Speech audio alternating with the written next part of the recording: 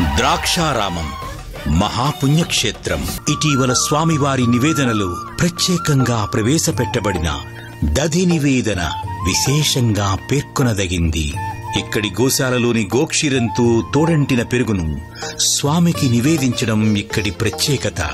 నీలో ఉన్నటువంటి భగవంతుణ్ణి దర్శించటమే నాలాంటి సేవకుడికి లభించిన వరంగా నేను భావిస్తూ ఈ ప్రాంత ప్రజలకి సేవ చేసేటువంటి వరాన్ని నాకు లభింపజేసిన భగవంతుడు భగవంతుడి రూపంలో ఉన్నటువంటి భక్తులు ప్రజలు అందరూ కూడా దైవ స్వరూపులే.